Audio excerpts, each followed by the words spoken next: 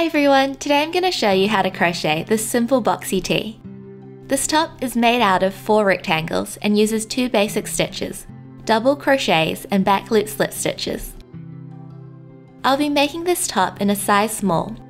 You can find the free written pattern from sizes extra small to 5 extra large on my blog.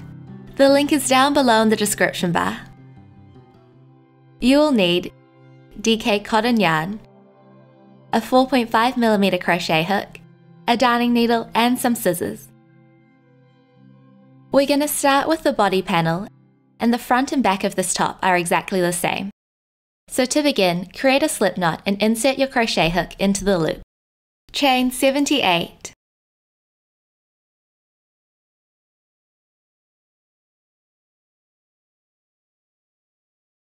Once you have 78 chains, we're going to double crochet in the third chain from the hook.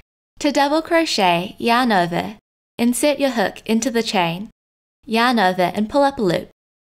Yarn over, pull through two, yarn over, pull through two. Double crochet in each remaining chain until the end of the row.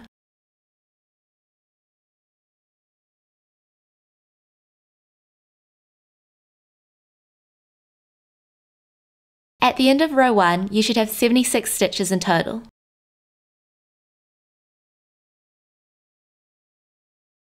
Turn your work. To start row 2, we're going to chain 2.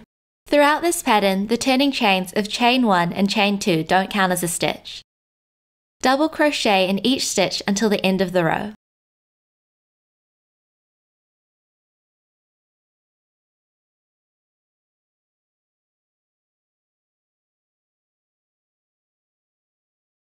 You should have 76 stitches in total. Turn your work. And then you're just going to repeat row 2 until the end of row 39. You can add or remove rows to make your top longer or shorter. Just take into account that the ribbing will add about 2.5 centimeters or 1 inch of length to your top. And this is what the body panel will look like after 39 rows of double crochet. We're now going to start on the body ribbing. We're going to be working into the back loops of every stitch. So normally when you insert your crochet hook into the stitch, you pick up two strands of yarn. When working into the back loop, you only pick up the strand of yarn furthest away from you. We'll start row 1 of the ribbing by chaining 1. So we're going to back loop slip stitch in each stitch until the last stitch of the row. To back loop slip stitch, insert your hook into the back loop, yarn over and pull through.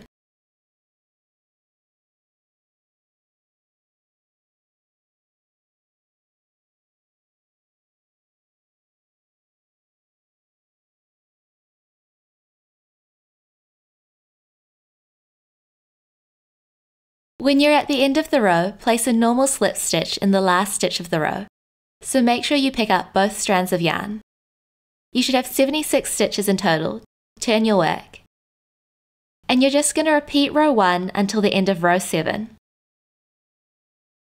So for row 2 of the ribbing, chain 1, back loop slip stitch in each stitch across, and then slip stitch in the last stitch of the row and turn your work. To make it easier to work into the back loop, rotate your work so that the tops of the stitches are facing you.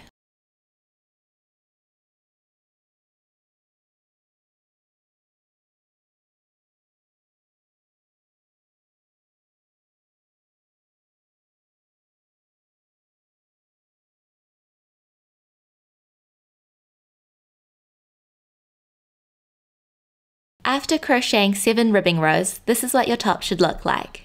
Fasten off. Repeat the steps for a second body panel. We're now going to crochet the sleeves. They have the exact same construction as the body panels, they're just smaller. Create a slip knot and insert your crochet hook into the loop. Chain 60.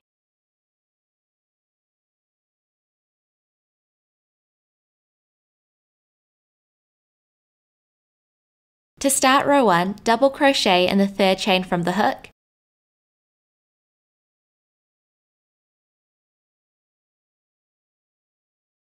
double crochet in each stitch across.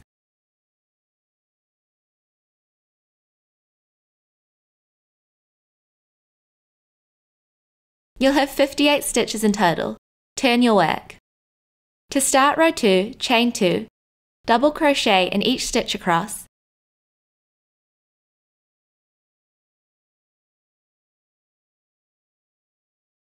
At the end of the row, you should have 58 stitches. Turn your work. Repeat row 2 until the end of row 7.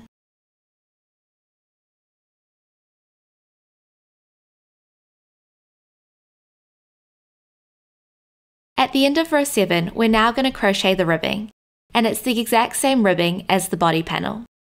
So we're going to chain 1, back loop slip stitch in each stitch until the last stitch of the row,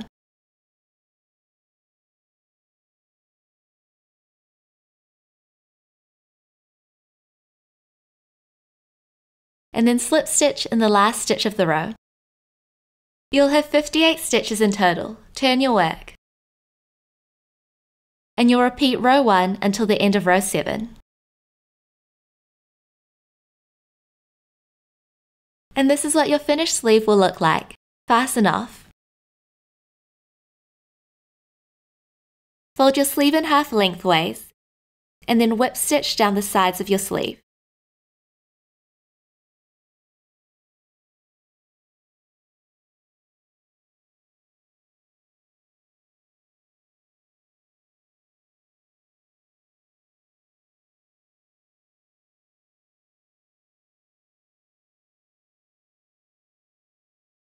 Repeat these steps for your second sleeve.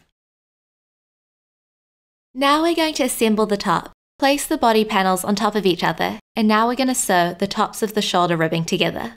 I've measured in about 12 centimeters or 5 inches from the edge of the top.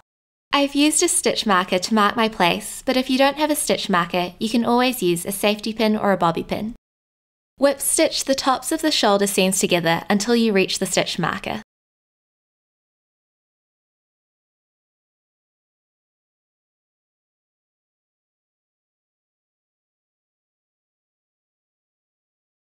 Once you've sewn the shoulder ribbing together, repeat for the other side.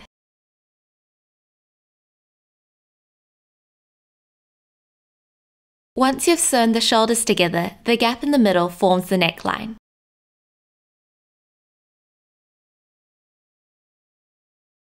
Line up your sleeve with the top of the shoulder seam and use a stitch marker to mark the bottom of the sleeve. Rotate your body panels and we're going to whip stitch the sides of the top together.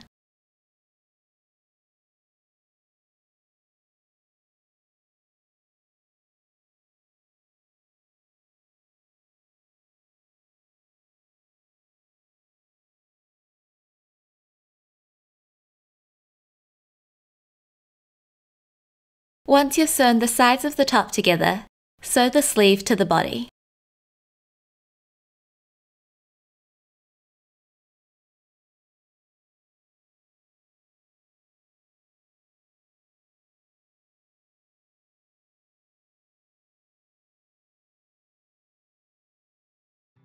Repeat these steps for the second side.